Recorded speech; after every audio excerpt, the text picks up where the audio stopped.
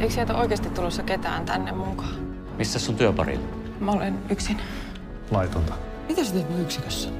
Kaikki tässä yksikössä joutunut vastaamaan siitä, mitä tapahtuu.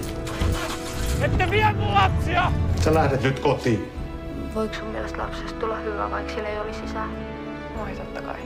Tähän sanoit, että sä harkitsit sitä vielä. Mä haluan tehdä työtä, jolla.